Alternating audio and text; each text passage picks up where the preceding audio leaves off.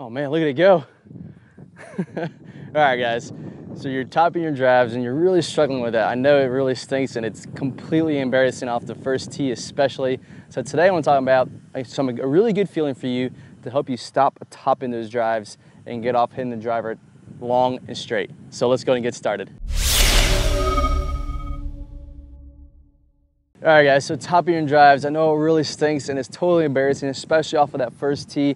So today I'm talking about how we can get that good feeling, what we're doing in our swing to help us got, help us to stop from topping these drives. So the number one thing I see, because you know all of us instructors out there in the world on TV, maybe your local pro, especially with your driver, they're teaching you to hit up on the golf ball. So maybe you're trying to get trying to get this motion here through impact but you can't still can't quite get it right. It doesn't matter how high you tee it up, maybe it's low or even high, you're still topping it. So the number one thing I see the most with people with their driver, especially they're trying to hit up on the golf ball, is they're actually casting the club on the way down. So this motion right here. So that, that's kind of a natural feeling, feeling for me, especially for you beginners. I remember when I was a beginner, I was definitely casting the club. I was having a big old slice. And yeah, sometimes I definitely would top the golf ball. So the natural reaction for us as human beings is to really kind of go in this direction instead of coming down to the ball and allow our hands to stay ahead of the club head and shallow at that club and then on impact have a, some shaft lean. So that's what thing I'm gonna talk about today, a good feeling for you to keep this motion on the way down. So if I'm gonna take your hand, this is the drill, we're we're gonna create um, flexion in the, in the wrist. I'm sorry, extension in the wrist. You're gonna try to create this angle on the way down. You hear about people creating lag this motion right here. So this is casting, and, and this is we're gonna try to create this motion here.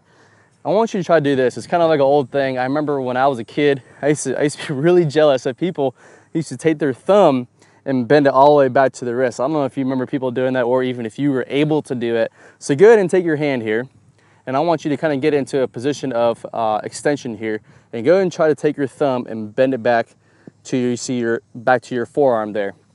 And that's gonna give you the actual feeling. So when you take it to the top of your golf swing, do that same feeling. Kind of bend your hand, bend your thumb back, and that's when you'll see, that's gonna put me in a good position of extension where we want on the way down.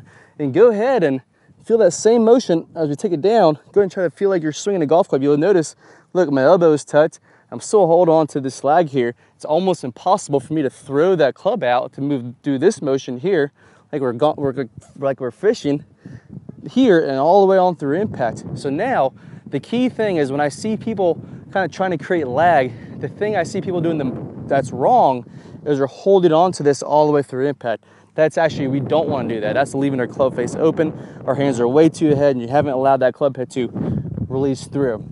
So now that you've worked on this motion, feeling that extension, that wrist, really feeling those hands kind of creating that lag on the way down, now what's coming into impact, I want you to feel right as your hands begin to get right at the ball here, you can see, I'm gonna try to get to my address position here. Right as my hands start to come in right into the ball, I want you to allow that lever. So you've created this lever right here. I want you to try to let that release. Go ahead and without tension in your hands, just go ahead and let that club release on through. Right about there, boom.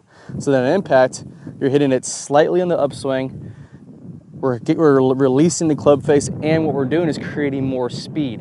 That's gonna allow you to still stay level down here at the ball. Boom, and then an impact, release that lever, and it's going that club is gonna whip on through with impact. All right, guys, so try to work on that. Try to feel this same motion here. Right at impact, right again, right as the club head comes, the hands start to get right at the ball.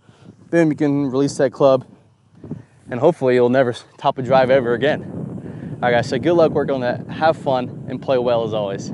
Hey guys, I hope you really enjoyed that video talking about how you can stop topping those drives. So now, like I was mentioning before, as far as this motion, we need to release the club. So the preview that's gonna play here is gonna talk about the straight line release. It's gonna be really important if you click on that iCard, it's gonna take you to the full version of that video. So now that we got this motion going, we need to know how we can release the golf club after hitting the golf ball. That's very important to click on that iCard to see that full video.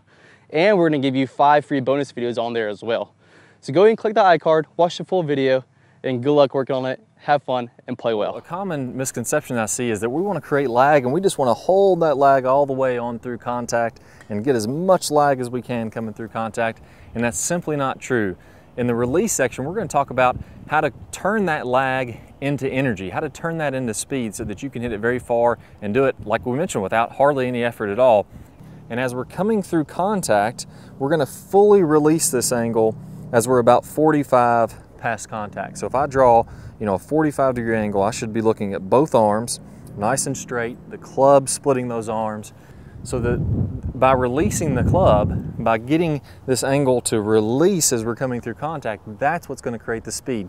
Our hands are moving a very short distance, our club is moving a very long distance through contact, and it creates that whip-like effect. Very different swings hitting the exact same position. So first let's take a look at Dustin Johnson releasing the club 45 past.